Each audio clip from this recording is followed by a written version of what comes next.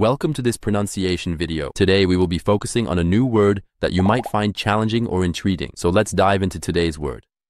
Requérir, which means, To need or demand something. Make it an essential condition. let's say it all together. Requérir. Requérir.